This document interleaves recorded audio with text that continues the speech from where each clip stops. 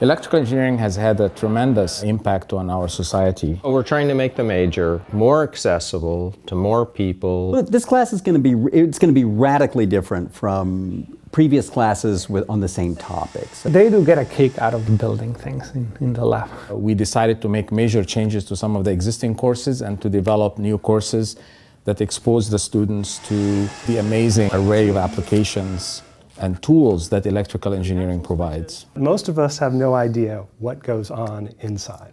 The camera, which is just this little hole on this side, but if you look on the back, now you can see it's relatively small corner over here. If you look at a cell phone camera, the whole imager is very small. EE is a maker culture we build systems. What we've decided to do is uh, expose undergraduates from freshman year to the double E maker culture by introducing these new classes. For this new age of information mathematics, the kind of stuff that you want to know is actually, it's very, very simple. It's a very short list. It's linear algebra, it's probability, and a little bit about computing.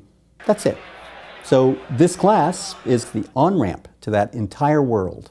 Essentially all the course content is being made by Stanford undergraduates. The idea of this course is for freshmen to take very simple concepts from linear algebra and to go really deeply into applications using those simple concepts. It's all around you. It's things in machine learning, you can do things like fraud detection. We can do image enhancement. We can do automatic control. That's where you control like an airplane to fly from one place to another. And we're going to see how a quantitative hedge fund works. For the undergrads, the plan was to help create this curriculum that we wish we had had available to us as freshmen. What we try to do in the class is teach the students that like, you can build very efficient system. Some of the power supplies that the students get to build in the lab, they actually exceed 90 something percent efficiency uh, at several tens of watts. So suddenly, it's also the realization is like, oh, this is actually real power, and actually, uh, things work. Like you can make things efficient and small. Light is all around us, and it's one of the primary ways that we interact with the world.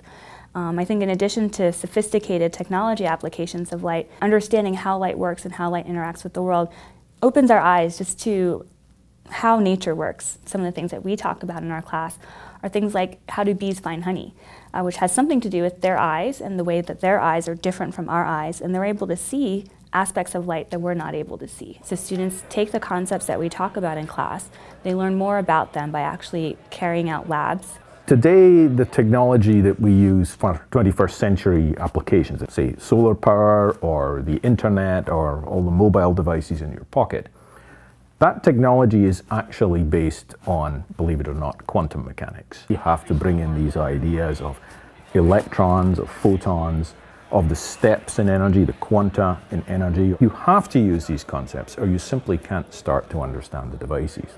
It was Einstein who explained it, and that was the real start of quantum mechanics as we know it today.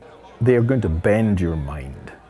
You're going to look at the world a different way once you understand some of these things. And that's what's going to enable you to generate the next set of technologies. All Stanford undergrads now will have the opportunity to learn about electrical engineering tools from the absolutely best teachers we have in the department.